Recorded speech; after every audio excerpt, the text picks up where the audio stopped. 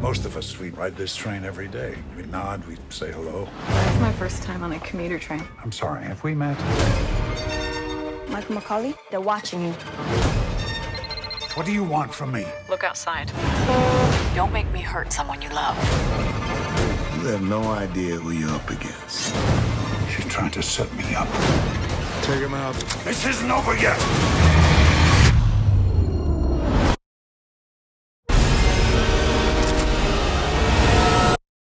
Just one little thing.